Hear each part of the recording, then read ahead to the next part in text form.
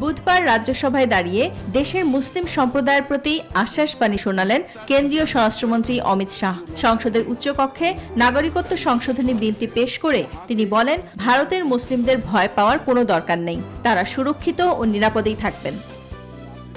গেল সোমবার সাত ঘণ্টার বিতর্কের পর লোকসভায় তিনশো চৌত্রিশ, একশো ছয় ভোটে জিতে পাশ হয়ে যায় বিলটি। কিন্তু এবার রাজ্যসভায় বিলটির কি দশা হয়, সেটি নিয়ে শঙ্কিত দেশের সংখ্যালঘু মুসলিমরা।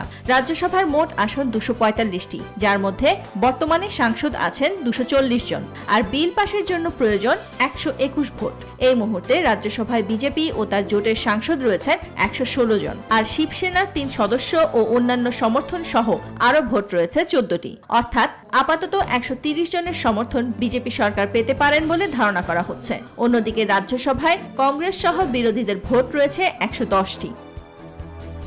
এদিকে আসামের বিক্ষোভের পাশাপাশি উত্তেজনা ছড়িয়ে পড়ছে বিজেপি শাসিত আরেক রাজ্য ত্রিপুরাতেও। সেই বিক্ষোভের জেরেই পরিস্থিতি নিয়ন্ত্রণে আনতে মঙ্গলবার থেকে ত্রিপুরায় আটচল্লিশ ঘণ্টার জন্য মোবাইল ইন্টারনেট ও এস সেবা বন্ধ করে দিয়েছে বিপ্লব দেব সরকার। এছাড়া নাগরিকত্ব সংশোধনী বিলের বিরোধিতা করে এগারো ঘণ্টার হরতালকে কেন্দ্র করে ত্রিপুরায় সহিংসতা শুরু হওয়ায় ইন্টারনেট বন্ধের পাশাপাশি কিছু কিছু স্থানে সেনাও মোতায়েন করা হয়েছে।